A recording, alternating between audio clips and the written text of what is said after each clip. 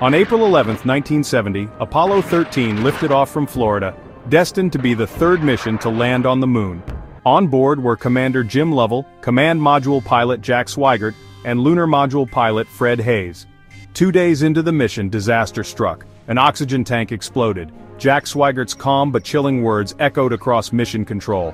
Houston, we have had a problem. The crew was 200,000 miles from Earth and their spacecraft was dying. With oxygen and power failing, the three astronauts abandoned the main command module and retreated into the tiny lunar module, designed for two men for just two days. It now had to keep three men alive for nearly four. Back on Earth, NASA engineers worked around the clock improvising solutions. They built a carbon dioxide filter with duct tape and spare parts, teaching the astronauts to do the same. It was ingenuity under pressure. And it worked. After looping around the moon, Apollo 13 prepared for re-entry. On April 17, 1970, the world held its breath. Then came the splashdown in the Pacific. Jim Lovell, Jack Swigert, and Fred Haise were alive, against all odds. Apollo 13 never reached the moon, but it became NASA's greatest rescue. Proof that teamwork, courage, and human determination can triumph even in space.